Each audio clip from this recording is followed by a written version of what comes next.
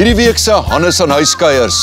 Ek kuier saam met die besige vermaaklikheidskunstenaar Lis Meyring. Ek hoor wie sy is as sy haar skoene uitskop of skop sy dit ooit uit. Hoe dink jy sien mense jou? Ek dink hulle het die persepsie dat ek laf is, dat ek dom is, dat ek snaaks is. Ek is eintlik maar 'n blou kous in stilettos. Dis Hannes aan huiskuiers maande aande 09:30. Moenie dit misloop nie.